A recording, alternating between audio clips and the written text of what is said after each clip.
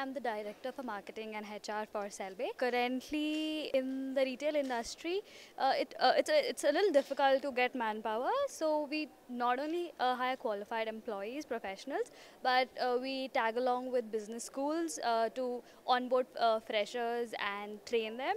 Along with that, we're associated with government skill development institutes and we believe in upskilling our employees through reg- regular trainings, inbound and outbound basis. And yeah, uh, upskilling is the most important thing currently we look at in our um, uh, firm currently. Yeah, as already mentioned, we believe in upskilling our employees. We provide trainings and we uh, help them understand their potential through which we can get the best out of them.